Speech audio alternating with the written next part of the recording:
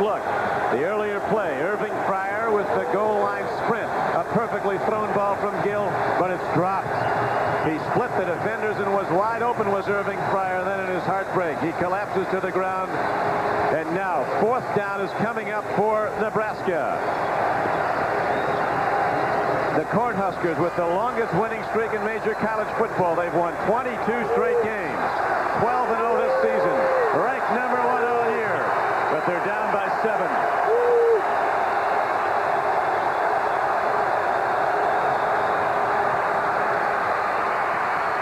Look at this play, Jeff Smith. Touchdown, Nebraska!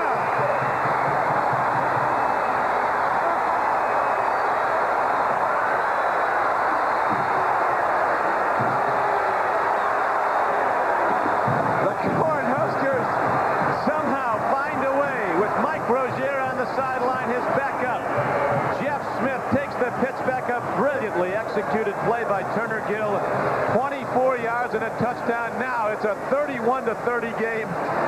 And what does What Nebraska do? I have not seen the kicker come on the field, and I don't think he's coming on the field. And I might as well, I think that they've got things going their way. Tom Osborne made this decision a long time ago. Don't think that this situ situation caught him by surprise. He's decided to go for two and take his shot and win, and I commend him for it. This is for the national championship for Nebraska. Incomplete.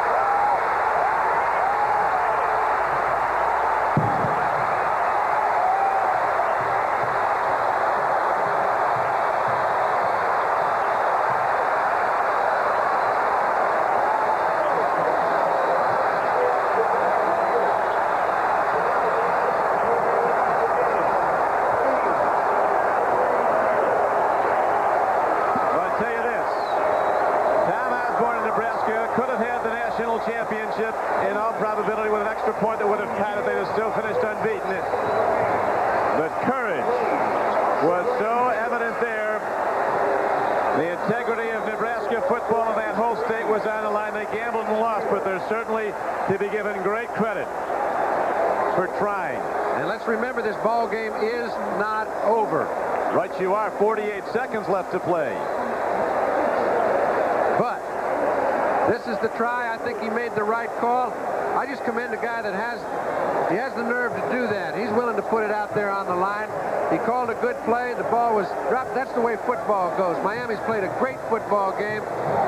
And if in 48 seconds, seconds they become the winner, they, they certainly deserve to be national champions.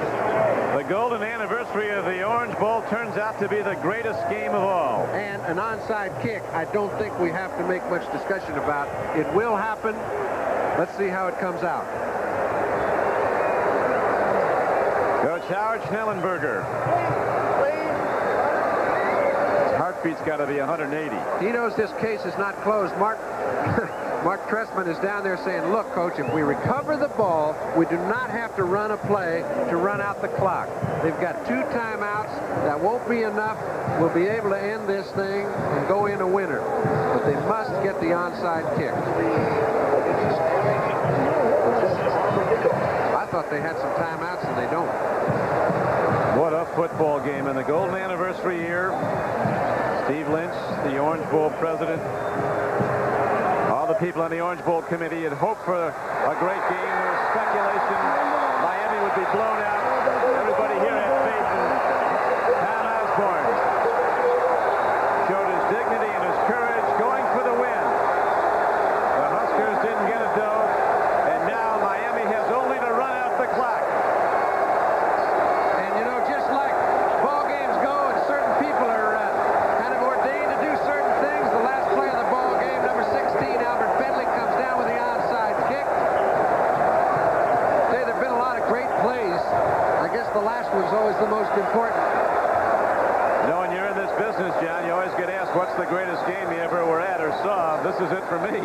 And this this is about as fine a football game as ever been played and happens to be for the national championship.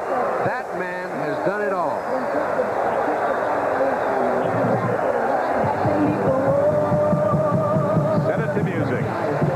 This is Hurricane Warning, number one in Miami. Storm. They say the wind is picking up. I heard it just this morning. The flags are being raised because it's a full-blown hurricane warning. They're lining in formation, all shining orange and green, busting butt on their own turf. There's nothing they ain't seen. You just look out, Nebraska. Better hold on to your corn because the hurricane is coming. It's looking like a storm.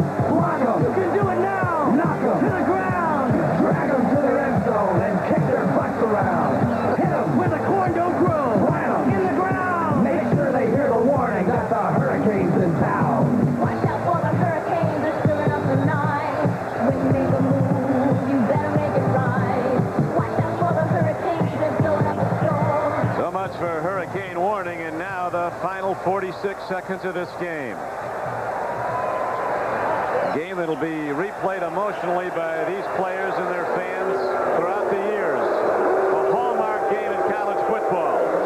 A great demonstration of courage by Nebraska going for the win, and for Miami, an absolutely miracle year. The dream season as they come back from a bad loss opening day to go to 11 straight wins, and in all probability, when the votes are in, a first ever national championship for the Hurricanes. And I'd like to say that the coaching staff, the players themselves, felt they were going to win tonight. They were not. They were not in awe of, of Nebraska. Now, mo- many of the fans were. Most of the writers were. and I think anybody who had seen Nebraska play was. But these guys did it because they knew they could. I'll tell you right school's out. This place up for grabs.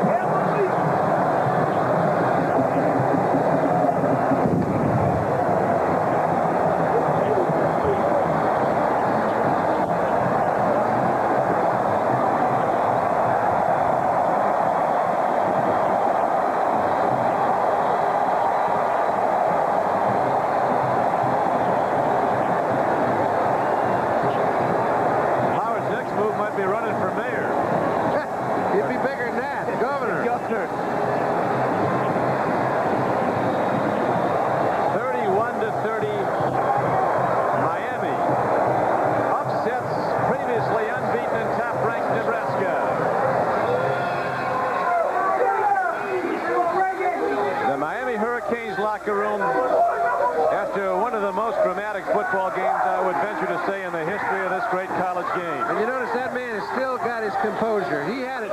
He, he was saying very softly all week long, I think we can win. We've got the people to win. We can't afford to make mistakes. We can't afford to keep get anybody hurt. But I'll tell you, if we all hang in there, I feel we can do it. He's been letting his team know they've been preparing for six weeks, and they did it. That's a wonderful feat against a great team. It was, and the confidence you talked about, John, really was evident all week long. It, even when he went to Scott, Nebraska at the Oklahoma game, Schnellenberger says they're going to be the best team we'll face all year, but they can be beaten. We can't make mistakes if we're going to do it, but we can win. And they did. And it was an offense that came out from the gun, throwing the ball around. They knew they had to put some points on the board early, get a lead, hang in there. They did that. Then comes Nebraska back, and they did it again. I mean, that I, you know, when everybody said, "Oh boy, they'll make it close anyway," now they open up another 14-point lead. That man right there, Dennison catches two touchdowns. And here is the critical play of the game.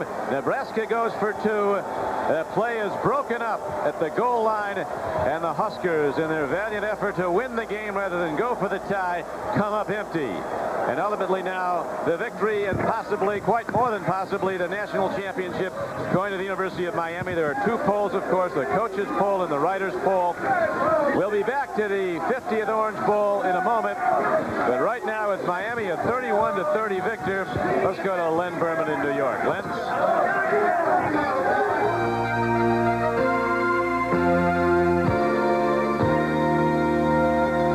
You, Don Criqui. What a day it's been around the country on Bowl Day 84. And really, when you think about it, number one, number two, and number five all lost today. So the big day for upsets. Who will be number one? We'll figure it out in a few minutes, perhaps.